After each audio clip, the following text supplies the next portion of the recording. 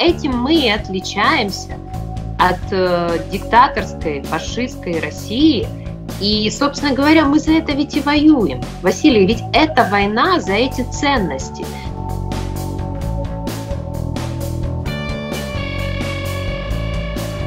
Здравствуйте, уважаемые зрители канала Субиньюз. У нас снова сегодня в гостях известный журналист из Киева Олеся Басман. Приветствуем вас, Олеся, рады вас видеть у нас. Василий, взаимно. Олеся, э, как вам события на юге? Э, поднялось ли у вас настроение? Вот это сначала, что происходило в Крыму, Новофедоровка там и так далее, а сейчас вот уже говорят о наступлении, держите кулаки, да, ваши впечатления, пожалуйста. Это неминуемый, логичный, правильный процесс, который мы с вами говорили уже не раз, что обязательно будет идти, потому что других вариантов нет. Знаете, вот есть, э, вот есть русло, и река не может течь по-другому, потому что она не может повернуться вспять, она не может, э, не знаю, там, в космос улететь. То есть есть русло, по которому она течет. Так же и здесь. Украина победит, Россия проиграет, Россия уже проиграла, потому что справедливость восторжествует, и ход истории не может просто иметь других э, каких-то вариантов развития. Поэтому все то, что происходит сегодня на юге, это логичный, правильный процесс, который рано или поздно должен был начаться, он начался, но комментировать его и, и рассказывать в подробностях, я думаю, что будут наши военачальники, наши ребята, которые непосредственно там сейчас занимаются освобождением наших украинских территорий, уже после нашей победы. Сегодня а, я, несмотря на то, что мы с вами представляем профессию журналистов, мы с вами работаем с информацией. Сегодня я говорю о том, что а, не нужно давать каких-то а, прогнозов, каких-то подробностей чрезмерных об этой теме. Здесь лучше помолчать и сказать, ребята, мы с вами, мы держим за вас кулаки, и все будет Украина. Да, соскучились по херсонским арбузикам. Ну, не будем давать ближайших прогнозов, но давайте попробуем заглянуть в завтрашний день, как говорил Кличко. Э, мы, вы сказали, Украина победит. А, Олеся, а как, по-вашему, будет в итоге выглядеть эта победа? Ну, давайте вспомним 45-й год. Это взятие Берлина, это водружение страны-победителя флага над Рейхстагом.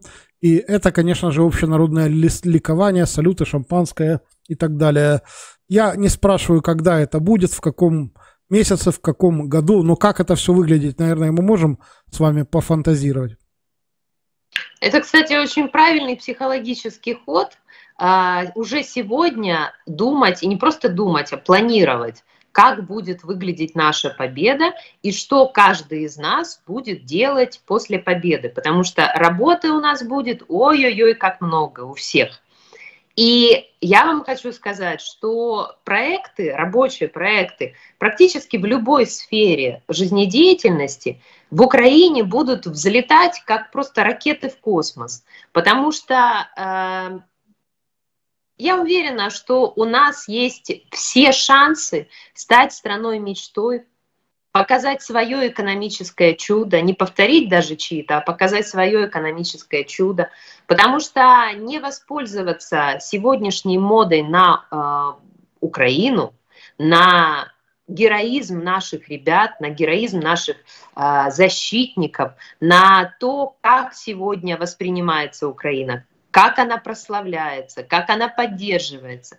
Вот не воспользоваться этим государству, просто невозможно власти. То есть после победы Украину нужно будет отстраивать просто сумасшедшими темпами. Я уверена, что пойдут инвестиции. Я уверена, что огромное количество рабочих мест появится. Ну, это опять же, это логично. Вот, вот так это будет, потому что так происходят устроены мировые процессы. Я уверена, что вернутся украинцы не только те, кто сегодня вынужденно уехал, спасаясь от войны с детьми э, или с э, пожилыми родителями очень, а я уверена, что вернутся и те, кто все годы независимости э, постепенно, потихоньку уезжал из Украины, а это были лучшие люди – в том числе лучшие, которые выезжали, мозги, руки, профессионалы, которые уезжали искать лучшей жизни для себя, для своих детей, более качественного образования, больших возможностей, карьерного роста. Так вот, я уверена, что все эти люди, посмотрев на то, какой Украина будет, насколько это будет страна возможностей, страна мечта, они все вернутся. Более того, будут ехать еще и люди из других стран, потому что нужны будут э, руки, головы, будет где работать, и зарплаты будут конкурентными. И, конечно, сейчас невозможно себе представить, что заплатив такую страшную цену за то, чтобы стать государством мечтой, Украина может вернуться к какой-то тотальной коррупции, к несвободе, не, к несвободе не вернуться, а мы всегда были свободны, войти в несвободу, а, отказаться от, каких, от каких-то демократических прав, от э, конкурентного избирательного процесса, всего того, что нас выгодно отличало в первую очередь от агрессора, от России – да, и я вам хочу сказать, что на, на фоне других государств, даже европейских, мы тоже всегда выглядели очень достойно, потому что э, украинцы всегда звучало гордо. Украинцы никогда не мирились с несправедливостью. Украинцы, если они чувствовали, что их обманывают, в том числе их власть обманывает, они выходили на улицы, и они, они выражали этот протест. А, то, что касается того, каким образом будет выглядеть наша победа, ну, мы с вами можем мечтать, мы можем э, строить планы, мы можем прогнозировать, мы не знаем. Конечно, я, вот, ну, лично мое мнение, я уверена в том, что она будет э, выглядеть э, вернувшей все наши территории, включая Крым, включая весь оккупированный Донбасс, мы вернем свое, Россия отовсюду уберется, никаких других вариантов у нее не будет. А Россия выплатит э, компенсации, огромные сумасшедшие компенсации, которые, а, которые будут, вот сейчас я, я так подумала, да, которые будут самыми большими в истории, в истории человечества за любые войны. Потому что, как мы сегодня видим, война России с Украиной является уже понятно самой задокументированной войной в истории человечества. Также и э, репарации, которые выплатит Россия Украине после украинской победы, будут самыми большими. Плюс частный бизнес, плюс гражданские иски. Раньше это все мало практиковалось. Вот вот я думаю, что это так и будет, потому что, конечно, тот ущерб, который Россия уже нанесла Украине, он колоссальнейший. Слушайте, а, недавно появилась статья в одном из э, солидных западных изданий с приблизительной оценкой того, а сколько же просто, если брать в деньгах оценивать, Россия уже завоевав, сколько там, 23 получается, да, захватила сейчас, 22% территории украинской, временно оккупировала. Вот сколько э, это в деньгах, если оценивать э, в первую очередь природные ресурсы, которые внутри, в недрах у нас лежат. У нас же, слушайте, вся таблица Менделеева и запасы ого-го одни из самых больших в Европе, причем на, по разным да, направлениям и по разным источникам. Так вот, речь идет о триллионах, десятках триллионов долларов. А, а сколько разрушенных предприятий, успешнейших, которые обеспечивали сырьем, обеспечивали продукцией не только Украину, а и западные рынки, а, а и, и мир, слушайте, а сельское хозяйство, а здания исторические и административные. Я уже не говорю о людях, потому что это, это, это то, что не исчисляется вообще ну, ничем. Это невозможно не оценить, невозможно это как-то... Потому что ну, жизнь не вернешь. Если дом ты можешь отстроить, то жизнь ты не вернешь. И то, что убили русские ракеты, убили русские солдаты, русские фашисты, тех, кого убили – их, конечно же, не вернешь. И здоровье не вернешь тем, кому покалечили. Но, тем не менее, Россия обязана будет заплатить за все. За все, за все, до последней капли. И понятно, что в эту историю входит покаяние, потому что ну, мы можем сравнивать сейчас с 1945 годом, как себя вела фашистская Германия после того, как она была повержена. В принципе, фашистская Россия, для нее эта модель более-менее применима, но только с тем, что масштаб уже будет другой, и освещение будет другое, контроль будет другой. И мы с вами уже говорили как-то на этот счет. Э, я считаю, что в процессе поражения России э, Россия не сохранится в нынешних ее границах. Ну, если вы вспомнили 45 год, там было четыре оккупационных зоны. И именно три оккупационных зоны, которые не попали под влияние коммунизма, стали человеческими, человеческой страной ФРГ. И то не сразу. До 50-х годов э, многие немцы считали Гитлера великим человеком и оставались нацистами. Это долго лечится. Э, и я думаю, что часть территории обязательно захочет тоже вернуться домой которая сейчас находится в составе России, потому что там внутри, ой, как много проблем. Ой, как много тех, кто имеет большой зуб на российскую власть, которая в своей истории только хапала, э, завоевывала, э, крала э, и убивала. И я думаю, что в копилке с этим, когда речь станет о новом каком-то коллективном договоре, на закреплении каких-то правил новых, я думаю, что станет вопрос о ядерном разоружении, вы видели, наверное, недавно заявление Гутерриша, казалось бы, он, который, ну, мало на что влияет и кому помогает организации. Но, тем не менее, заявление очень симптоматичное, когда он сказал о том, что сегодня вообще нужно э, мир ядерно разоружать. Не вооружать, как до этого было, да, гонка вооружений, а избавиться всем от ядерного оружия. И я думаю, что по отношению к России, к фашистской России, этот вопрос встанет в первую очередь ядерного разоружения. По поводу, что что-то где-то должно вернуться домой. Мы с вами знаем, что многие территории были отобраны коммунистами, империей у других государств – ну, прежде всего приходят на ум, допустим, Сахалин, Курилы, приходят на ум Калининград и многое-многое другое, Карелия. Понятно, что вслух э, соседи не говорят о том, что они хотели бы вернуть свое, но, в принципе, как вы думаете, в головах западных руководителей вот этих стран, у которых забрали территории, сидит ли у них вот эта заноза, планируют ли они такие, такие вещи, когда это будет возможно? Э, ну, говорить о том, что в головах западных руководителей сидит заноза возвращения э, своих земель, э, это сравнивать их сегодня с империей, сравнивать их где-то с Путиным, у которого как раз эта заноза сидит на всю голову. У него, у него других, по-моему, и мыслей нет, кроме ну, как... Ну, японцы настроены серьезно в этом отношении. Кроме как возвращения империи. Поэтому я думаю, что они сейчас э, в первую очередь думают о том, как остановить диктатора, как э, убрать влияние и остановить распространение этой заразы русскомирской. Вот это их заботит.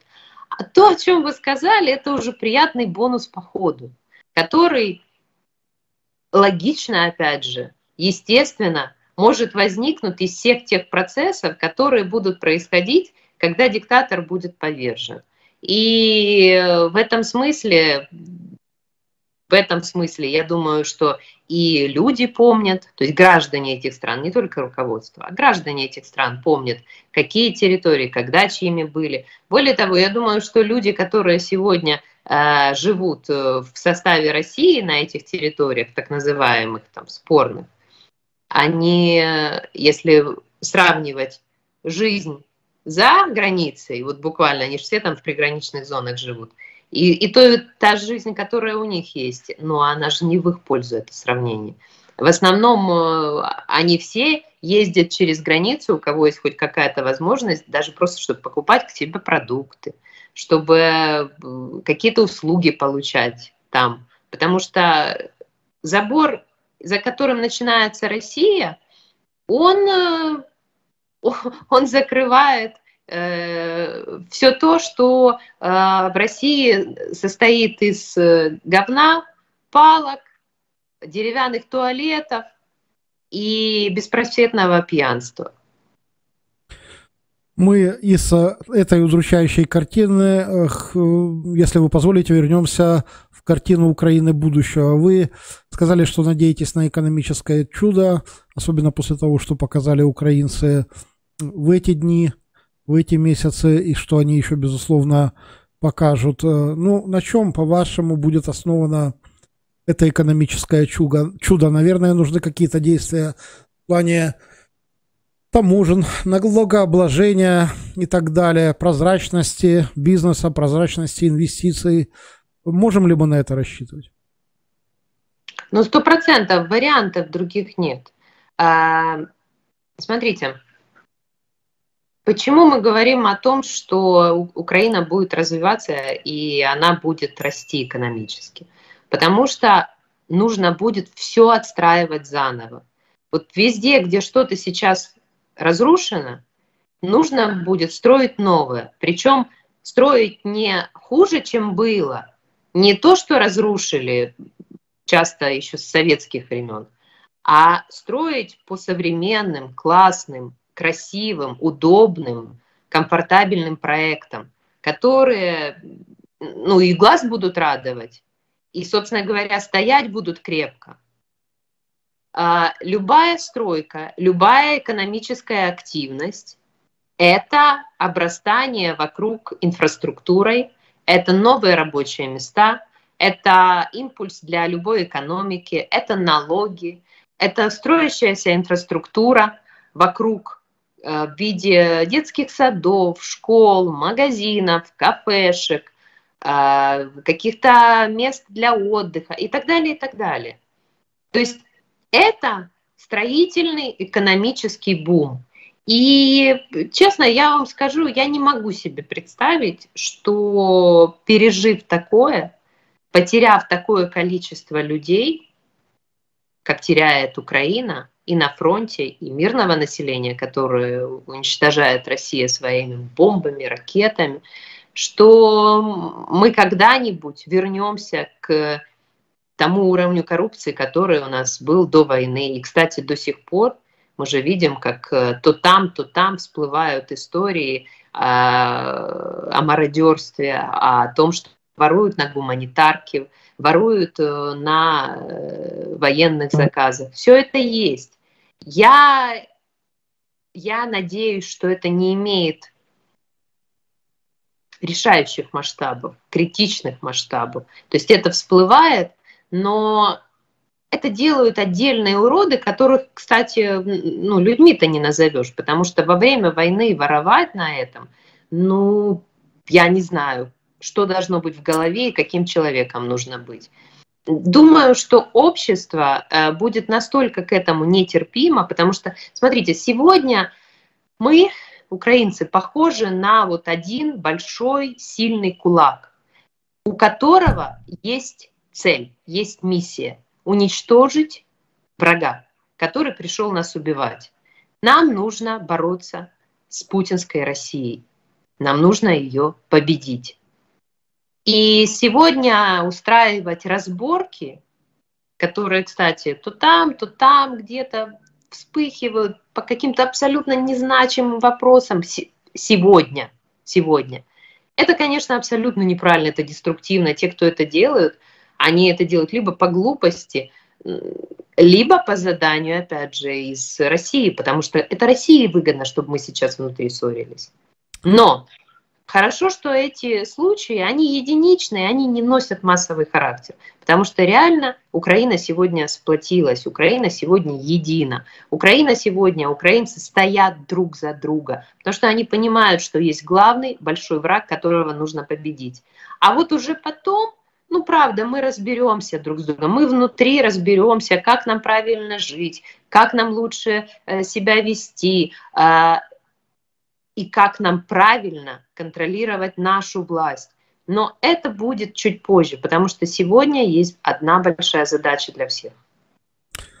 Олеся, абсолютно с вами согласен по поводу того, что воровать на войне, на горе людей, это самое, наверное, одно из самых отвратительных явлений, которые могут быть в жизни. И именно поэтому мы сейчас собираем на беспилотники, и мы каждый день отчитываемся по каждой гривне, по каждому доллару, которые приходят каждый день. Мы выкладываем баланс на одном счете, все абсолютно прозрачно. То же самое и с расходами. И очень печально видеть, когда люди просто пользуясь своей популярностью, собирают деньги, непонятно куда их девая, непонятно сколько пришло, просто давая реквизиты. Поэтому нужна, конечно, отчетность, нужна прозрачность, и нужно, чтобы и власть этому училась. Я надеюсь, я думаю, наверное, и вы надеетесь, вы выскажетесь, что война изменит в том числе и власть, тех, кто власти, и в том числе, наверное, фактором этого станет то, что придут э, десятки тысяч людей с фронта которых обманывать уже будет просто страшно, наверное. И, наверное, что-то у власти и совестью поменяется. Хотя, конечно, тяжело в это верить на фоне того, что Украина всегда славилась своей коррупцией. Ну, очень... То есть в каждом минусе, в каждом горе есть и свои плюсы. Будем надеяться, что власть изменится. Есть ли у вас такая надежда именно о власти разговор?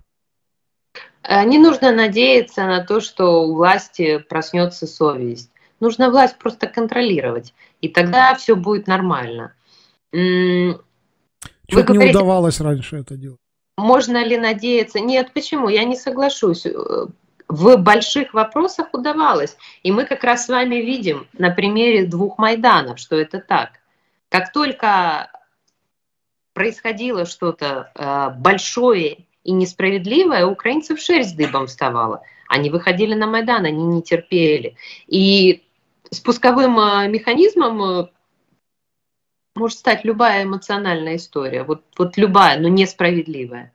Поэтому я вам хочу сказать, что в этом смысле э, контроль общества, вот народный контроль, который сегодня, конечно же, подкреплен и база его да, стала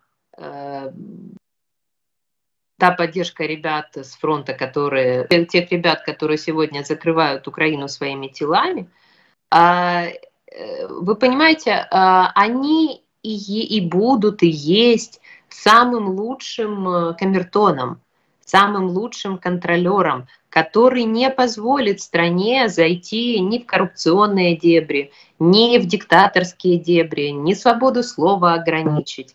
Э, ну, невозможно, понимаете? Вот э, этим мы и отличаемся от э, диктаторской, фашистской России. И, собственно говоря, мы за это ведь и воюем. Василий, ведь это война за эти ценности. За то, мы, за то что мы будем а, азиатчиной в худших проявлениях, или мы будем европейской, свободной, демократической страной – с работающими институтами, с работающими законами, со справедливыми судами, со свободой слова. Вот за это сегодня погибают лучшие из украинцев. За это сегодня страдает целая страна. Поэтому, э, когда вы говорите о том, что власть вернется к коррупционной истории, что она будет что-то делать не так, невозможно. Если она захочет туда вернуться, то она не будет властью. Поэтому я очень сильно э, верю в этот контроль народный, общественный, потому что это не какая-то теоретическая история, а это история, доказанная временем и примерами. То есть мы уже показали как страна, что мы не просто э, хотим жить, хорошо, свободно, демократично, мы готовы за это бороться. Среди всего прочего, Олеся, я с вами согласен, конечно, что все распри, разборки, как во власти, так и, наверное, даже частично в обществе, может быть, в большой ее части нужно отложить на потом, на после победы. И с этой стороны, конечно же, интересно ваше мнение. Вы вращаетесь в высоких кругах, вы, наверное, в курсе, что реально происходит, более-менее в курсе. Э, вот эти разговоры о том, что Зеленский заточил зуб на Залужного, о том, что он ревнует к его популярности в армии, в народе, насколько под ними есть почва? Откройте немножко занавесу тайны нам. Я думаю, что для нас с вами и для народа Украины, и для тех ребят, которые сегодня на фронте находятся, это вообще не тема, которая должна нас отвлекать. Потому что и Зеленский, и Залужный, и другие представители власти, и представители оппозиции, и представители э, общества свободного, и журналисты, и волонтеры. Все они заинтересованы в том, чтобы сегодня победить врага. А, поэтому разговаривать о каких-то а, личностных историях, которые могут быть, могут не быть. Но вы же понимаете, что если я даже что-то знаю, я сейчас не буду об этом говорить. А, это не вот почему? Потому что глобально это не имеет никакого значения в том, что сейчас происходит. Вот в выковывании той победы, которая, которой Украина приближается каждый день. А... Я рассчитывал, извините, что вы четко скажете, я точно знаю, ничего подобного не происходит. Вот на что я рассчитывал. Почему?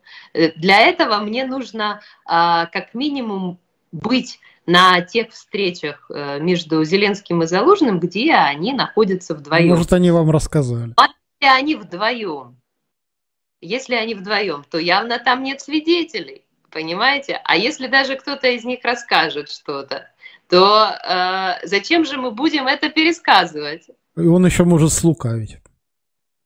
Ну, мы надеемся, что нас никто не обманывает.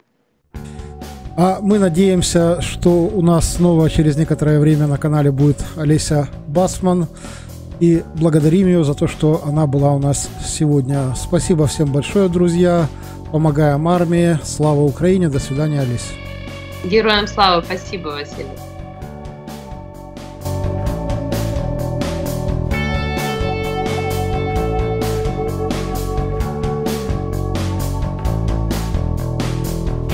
Доброго вечора, ми з України.